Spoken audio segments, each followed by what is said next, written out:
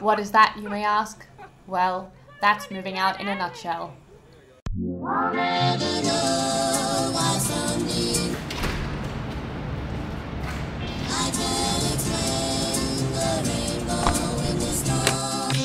People love to call Kowloon the dark side, but it is what I've called home for the past 24 Before years. I went to school, I came here for a McDonald's meal. This year, I left my parents' home on the Kowloon side and found myself a new apartment in the heart of Hong Kong Island.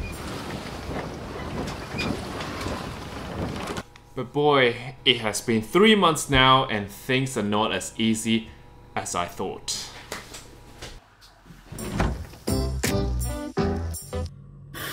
Let's start with the bottom level of the human needs pyramid. Physiological needs, aka food. I must admit sometimes I'm not the best cook. Or you can say this is just an excuse because we hate washing dishes. A quick solution to that is stuffing ourselves with MSG. I mean, I mean eating out. The good thing about living on the island is that we are spoiled for choice. My favorite and their favorite, noodle shops. They are cheap cheap but delicious. Gigi on the other hand rarely goes to noodle shops because just like 95% of the expats in Hong Kong, they get scared when the menu doesn't have English. But the crazy thing about Hong Kong is that within 10 meters, menus change from no English to only English. When we first moved here, Gigi enjoyed going to these cafes and loved a good brunch. But moving out is expensive. We can't do it like that every day. Until I corrupted her into liking these noodle shops too. 经过多个月嘅训练之后，G G 终于识喺呢间茶餐厅用广东话嗌嘢食。好啦，买饭冬柠茶走添，唔该。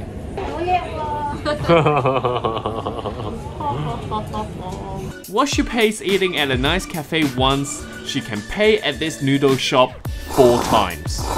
Being local saves you a lot of money to fill the fridge. My fridge at home was like a magic food machine that just kept replenishing itself. Sometimes I open my fridge in my new home and I honestly feel depressed. Moving out reminded me that fridges are full from grocery shopping. In rare situations where I've decided to cook, I try not to go to supermarkets around my neighborhood simply because I refuse to pay 30 Hong Kong dollars for a broccoli, 哇，食完识飞啊, and 9 dollars for spring onion. 葱都要俾钱，葱梗系买餸搭返嚟㗎啦。搭条葱得唔得啊？Free onion。 Gigi was scared of the wet market because again, there's no English there and rumor has it that expats pay higher prices. So she shops at fancy supermarkets. It's time for me as a local boyfriend to corrupt her again. I took her to wet markets on the island, only to find out that people are very English friendly. After moving out, I realized that wet markets might not be the cleanest of places to buy broccoli, but they could be one fifth the price. I once again turned Gigi into a local girl. Guys, another thing about moving out is money, and it hit me the first month. Like gas, electricity, Wi-Fi, everything I used to take all these things for granted and I got them for free. Now they become my monthly bill and here's a list of items that we actually have to pay every month. Town gas, home insurance, we got the broadband, we got the travel insurance, we got the water bill, the electric bills, we got credit card bills. The following thing, I'm not saying it because it's sponsored by PPS, it's a true story. Georgia goes and pay all these bills every month with cash, but not anymore. I told her how to set up PPS in 30 seconds. This is the machine that you can use to set up so you can go cashless and be convenient. Insert your bank card. Ding. Open account. Receipt. Easy. You can use this service to pay over 900 merchants of all kind and pay your bills in one consolidated space. Sign up now and get a free ice cream. 搞掂食碗面。碗面。搞掂食外面。 Noodles are good and it's convenient to live around our neighborhood. But with such densely populated place comes its price.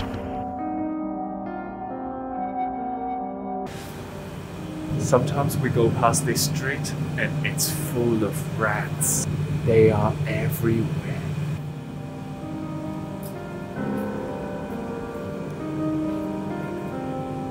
Go faster.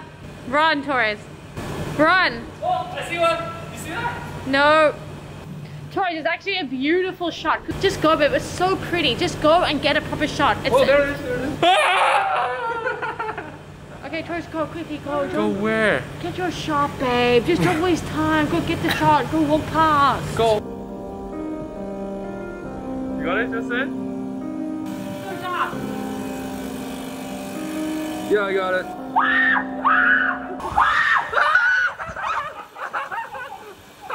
Running right at me.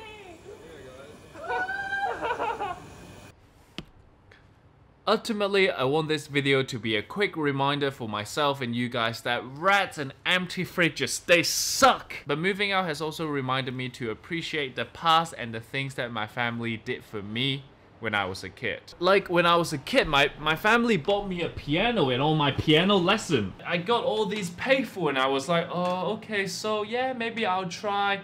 Now I, I have to pay for my own piano and pay for my own piano lessons. I realize, wow, I should have been more grateful and I wish I had tried harder. It's when you move out and you step in the shoes of your family, your parents, then you realize the cost, the bills, the obligation, well, weren't so easy. And uh, too bad we only realize this when we grow older.